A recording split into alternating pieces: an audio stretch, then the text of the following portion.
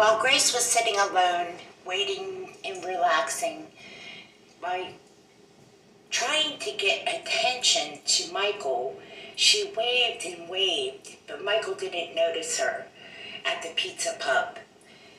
Johnny Knox looked over and noticed her waving and nudged Michael. And Michael noticed that it was Grace. Grace, said Michael, what are you doing here? And Grace obviously was excited that Michael noticed.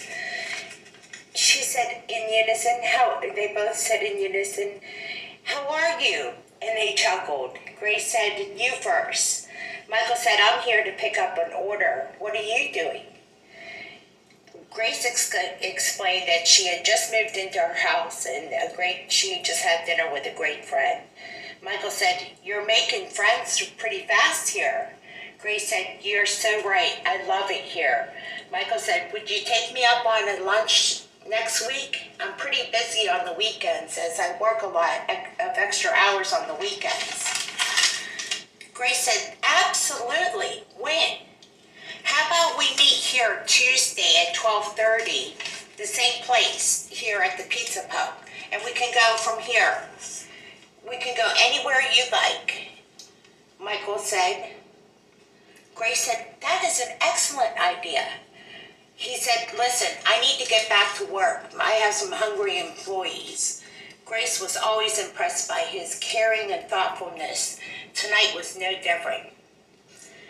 As they were leaving and walking out the door, she said, Good night, Michael. And she and Michael said to her, Good night, Grace. There is truly no place like home for Grace, especially after a long journey that Grace had been on to sleep in her own bed for the first time with new blankets. She embraced this new life and new home like just adjusting so well to it. Things were going so well considering all that she had endured. She had accomplished a lot to get into her new home that day, and to this journey had reached its pinnacle, and the stars were sparkling that night. That's when Grace pulled out the new telescope and watched the full moon that night. She began to dream again. She no longer had been sleep deprived from by abuse.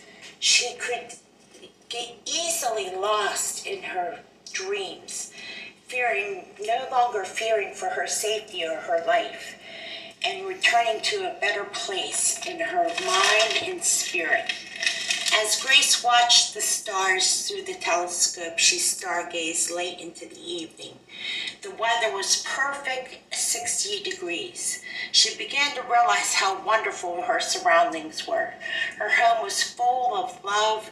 It was well decorated by the help of Marissa and the agency.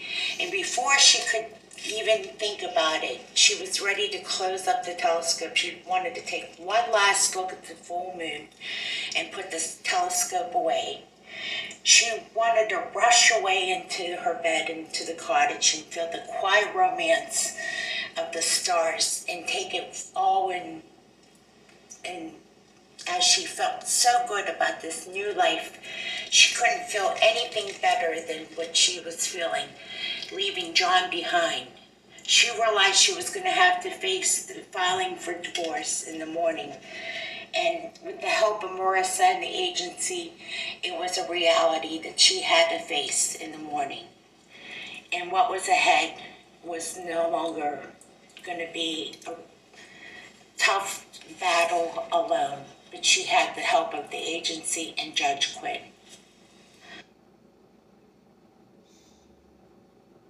So the next day, as this aroma of a fresh cup of espresso filled the air, a gift by the agency, a double espresso latte was the first thing that she brewed in her new espresso machine gifted by the agency. Grace had made herself a double shot latte. Grace thought to herself, this is such a wonderful thing that they have done for her. Wow, to have a double espresso. It's not normal for her to have so many wonderful things happen all at once. It was time to get her day started as her morning was already well in gear, especially as it was Friday and it's always tough to get a day like this started with the work that she had ahead of her because most people are wrapping up their week, but it was just the beginning of her journey. The agency was waiting for, to hear back from Grace, though. Grace, said Marissa, as she was calling her from her cell phone. How did your first night at the cottage go? Grace excitedly explained it was more than perfect after you left, I ran into that man, Michael, who pumped gas in my car that at the gas station. Then I strolled home and went stargazing, and then the telescope and everything that was given to me. I just tried to take it all in and just escape into the beautiful new blanket, and everything was just perfect. Marissa said, Wow, Gracie, you make it sound so wonderful.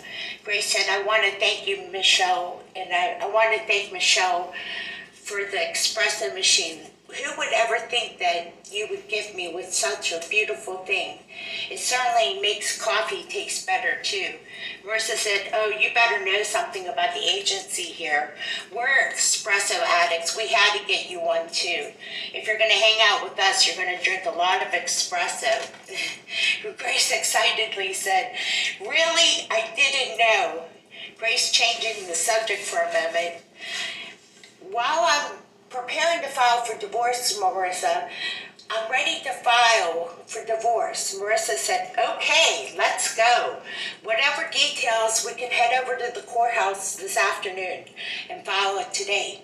Grace excitedly said, today? Really? Marissa said, yes. This is not hard at all. There are special cases involving domestic abuse, and your case can settle within 30 days. She dropped the phone and cried. Grace couldn't believe it. Marissa said, It's okay to cry. You've been through so much.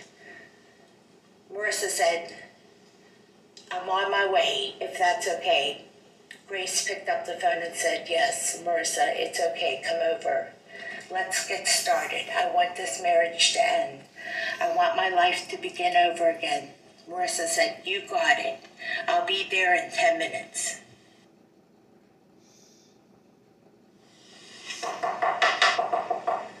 Hello? It's Marissa. Oh, come on in. Hi, good morning. Oh, it's so good to see you. Well, you ready to start your life over again, Grace? Yes. Marissa said, let's go over this, the judge's order and the police documents. Are you ready? Let's get some d- double espresso on there. you got it, says Grace. All right, the judge's order says this, and the police documents and everything that we have to go through is a bunch of paperwork. So let's get the table clear and sit down. There's a lot of different things that we need to go through in order to settle your divorce case.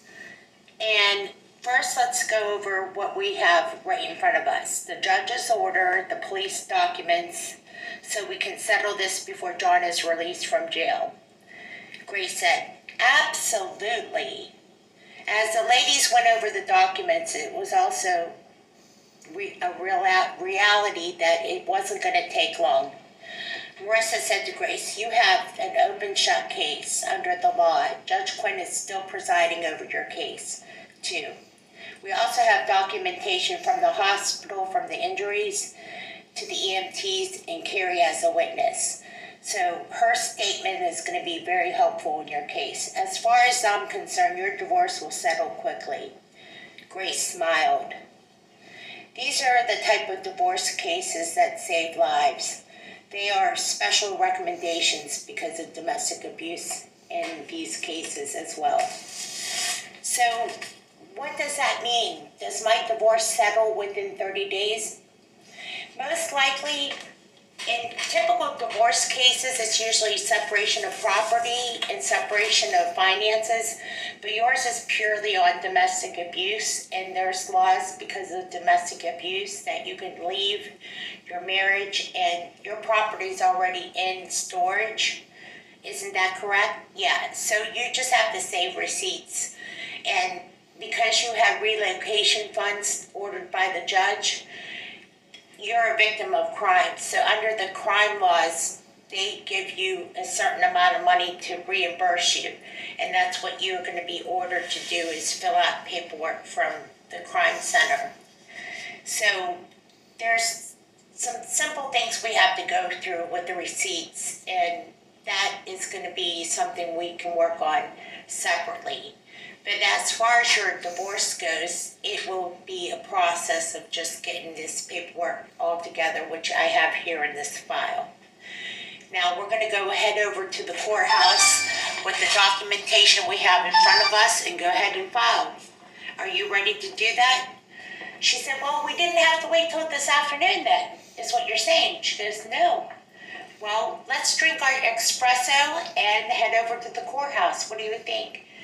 I think that's a great idea. Idea. I think drinking some espresso is just what we need, and then we can head over to the courthouse and file for the divorce and get this ball rolling. That is a fantastic idea. Let's drink to that. It's espresso on the fly. Oh, that is such great coffee. You make the best espresso. I think Michelle would be impressed. I'm going to tell Michelle that you make the best espressos so we can have you over to the office more often. Once this is all finished, we're going to have an espresso party, said Gracie. And then I'll be the one to gift you with a, a good special blend of my favorite coffee. And that way I can show my gratitude to all of you, how special all of you been to me. Well, let's finish up our coffee and we can talk about that in another time. We're going to go file for that divorce and get this ball rolling. How about that, Gracie? Sounds like a great idea. Let's go.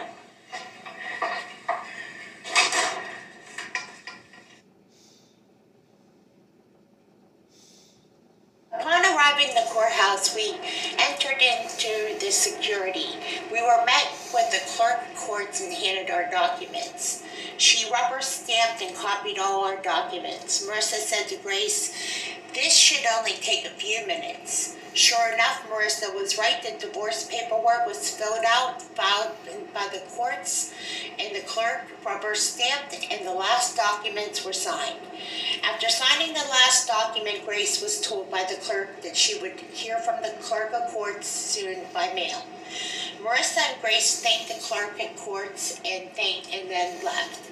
Marissa suggested that we meet with the team and Michelle at the agency. Grace agreed. The 10 minute ride to the agency was not much. After all, they accomplished everything they had planned out to do. At the agency, Michelle was drinking her last cup of espresso. Grace grinned. Thank you so much, Michelle. We filed the divorce paperwork at the courthouse as planned, said Marissa to Michelle. Michelle said, Let's go into my office. This deserves an important meeting, just the three of us. Michelle is a director of the agency and has heard a lot of the hard luck cases. Grace's case was important to Michelle.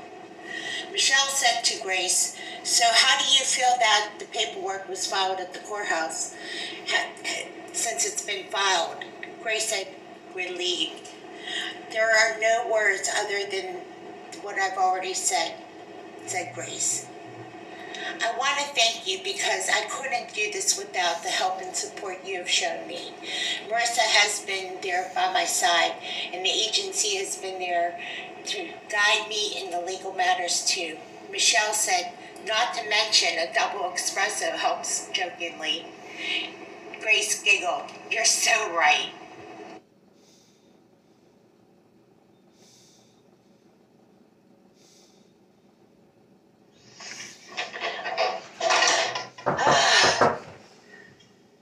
what a day. that day at the courthouse and at the meeting. That meeting with Michelle was great. I think I'm gonna have some espresso. oh, wow. I can't believe I'm drinking espresso again. I can't help myself. What a day. Let me just take this in. A day, the second day in my house. I can't believe they gave me a new toaster too. A new spice rack, a computer. Let me just count how much they've done for me. I can't even think. New curtains, a new lamp, a new kitchen table, an antique, antique furniture. I have a pitcher for water, plants. They did this so nice. Marissa's a decorator too. Not only is she good at making espresso, but wow. Let me turn on this coffee pot espresso machine. Uh, wow. I'm just going to sit and reflect on this day because going to the courthouse and filing that divorce really has me reflecting. And I can't forget Tuesday, I have a big important lunch date. I'm going to be divorced and I might even have myself a date, and the prospects are endless here. Springfield has really proven to be something great. The conversation was good today. I really have a lot to think about, like the new blanket that I have on my bed, a new brand new bed, a new couch. Everything about this new home is just amazing. The welcome sign, the handmade materials that were made by hand by the donors, the donations, the thrifted items. Oh, wow. I am just astounded by what I have. You know what I really need?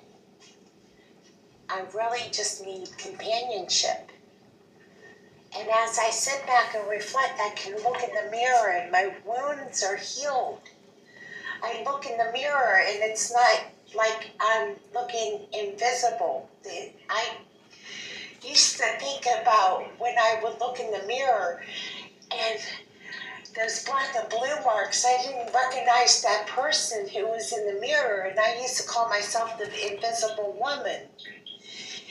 And I didn't recognize myself anymore. I'm healing. I'm healing. I'm healing. And that's the amazing part about this experience is that I'm going to be free once and for all, free at last from this journey is showing me that I am going to experience a totally new life. I have the best people in the world helping me, and I don't know what I can say. I gotta know how to put it in the words. They got me a new toaster, a spice rack. I I look around me and I none of this is mine. This was all given to me. My home has been literally given to me by the judge. You know, all I have to do is do the paperwork for the Victim Crime Center, and I, I get reimbursed for everything that I've spent to get through this. And I will have a job and I'll go back to school. I can do things, I can live again. I got a good night's rest after looking through the telescope last night. I have hopes and dreams again. I'm not sleep deprived like I was when I would live with John, and my, I can go back to my maiden name. I can live. I can do things. I can experience life again, free of domestic abuse. It's a miracle. It's truly a miracle.